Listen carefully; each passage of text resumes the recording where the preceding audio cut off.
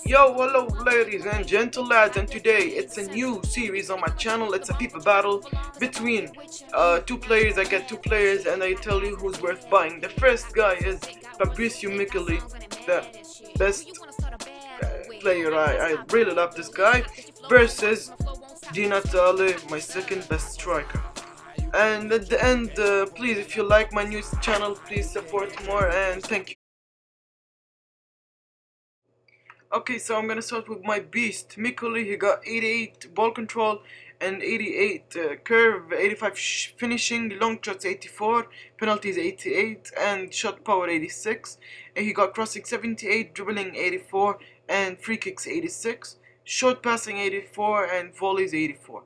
And for his acceleration, he got 90 acceleration, 94 balance, and reactions 48, and agility 92, and sprint speed 82. And for his pace, 85 pace, shooting 85, passing 80, and dribbling 86.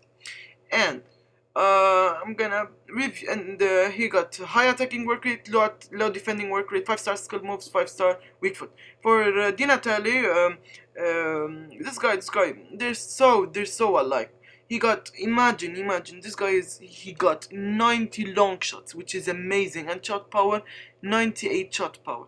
I really love this guy he got high attacking work rate low defending work rate and 5 star weak foot 5 star uh, skill move. Uh, 89 um, uh, 84 87 pace and 87 shooting.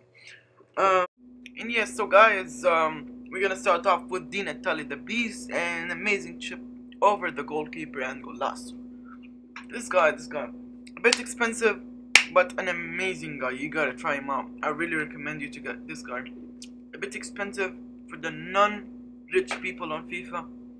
If if you're you're not rich, don't buy him. Buy Miccoli. And amazing dribbling by Miccoli. Miccoli gives the assist for Di Natale. Di Natale. That's a, that's an amazing goal. I really love the goal.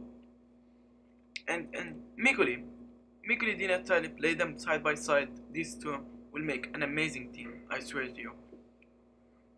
And here, amazing pass by Miccoli 2 and near post OP. Di Natale an amazing goal. And guys, enough with Di Natale. Let's go through Miccoli. So yeah guys, uh, some goals for Miccoli and look at this header. This guy is really short and he gets headed like shit bro. That's amazing. And here, um, an amazing assist from Lamela. And Miccoli won't miss. He won't miss a near post. Miccoli is a beast. I really love this guy. An amazing goal.